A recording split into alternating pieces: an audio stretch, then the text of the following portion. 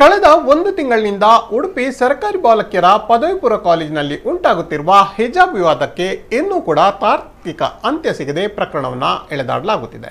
ಈ ಮಧ್ಯೆ ಕುಂದಾಪುರ ಹಲಡಿಯಲ್ಲಿರುವ ಸರ್ಕಾರಿ ಪದವಿ ಪೂರ್ವ ಕಾಲೇಜಿಗೂ ಹಿಜಾಬ್ ವಿವಾದ ಪ್ರತಿಧ್ವನಿಸಿದ್ದು, ನಲವತ್ತು ಹಿಂದೂ ಹುಡುಗರು ಕೇಸರಿ ಶಾಲು ಧರಿಸಿ ಬರುವ ಮೂಲಕ ಹಿಜಾಬ್ಗೆ ಕೌಂಟರ್ ನೀಡುತ್ತಿದ್ದಾರೆ. ಈಗಾಗಲೇ ಈ ಕಾಲೇಜಿಗೆ ಇಪ್ಪತ್ತೇಳು ವಿದ್ಯಾರ್ಥಿನಿಯರು ಹಿಜಾಬ್ ಧರಿಸಿ ತರಗತಿಗೆ ಆಗಮಿಸುತ್ತಿದ್ದಾರೆ. ಸಮಸ್ಯೆ ಪರಿಹರಿಸಲು ಶಾಸಕ ಹಾಲಾಡಿ ಶ್ರೀನಿವಾಸ ಶೆಟ್ಟಿಯವರ ನೇತೃತ್ವದಲ್ಲಿ ಸಭೆಯನ್ನ ನಡೆಸಲಾಗಿದ್ದು, ಮುಸ್ಲಿಂ ವಿದ್ಯಾರ್ಥಿನಿಯರ ಪೋಷಕರ ಮನವೊಲಿಸುವಲ್ಲಿ ಪ್ರಯತ್ನ ಮಾಡಲಾಗಿದೆ.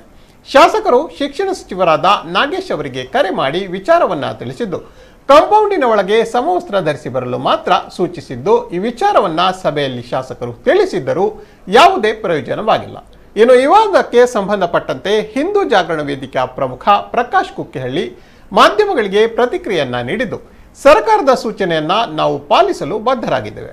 ಆದರೆ ವಿದ್ಯಾರ್ಥಿನಿಯರು ಹಿಜಾಬ್ ಧರಿಸಿ ತರಗತಿಗೆ ಬಂದರೆ ನಮ್ಮ ಹುಡುಗರು ಕೇಸರಿ ಶಾಲು ಧರಿಸಿ ತರಗತಿಗೆ ಹಾಜರಾಗುತ್ತಾರೆಂದು ಟಾಂಗ್ ನೀಡಿದ್ದಾರೆ.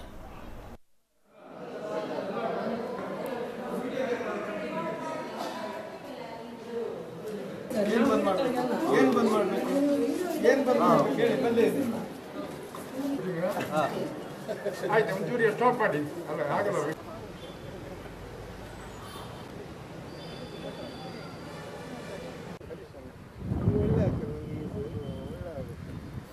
ನಾನು ಹೇಳಿದೆ ಸರ್ಕಾರದ ಮಾರ್ಗಸೂಚಿ ಬಿಟ್ಟು ನಾನು ಸಚಿವ ಅಲ್ಲ. ನಾನೊಬ್ಬ ಶಾಸಕ ಮಾತ್ರ.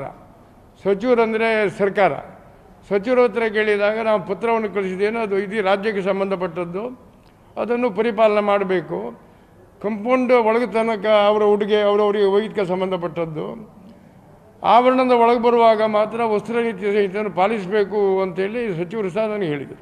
ನಾನು ಮುಂಚೆ ಹೈಸ್ಕೂಲಿಗೂ ಸಹ ನಾನು ಅಧ್ಯಕ್ಷನಾಗಿದ್ದೆ. ಕರ್ನಾಟಕ ರಾಜ್ಯದಲ್ಲಿ ಈಗ ಪದವಿ ಪೂರ್ವ ಕಾಲೇಜಿಗೆ ಮಾತ್ರ ಶಾಸಕರುಗಳ ಅಧ್ಯಕ್ಷರು?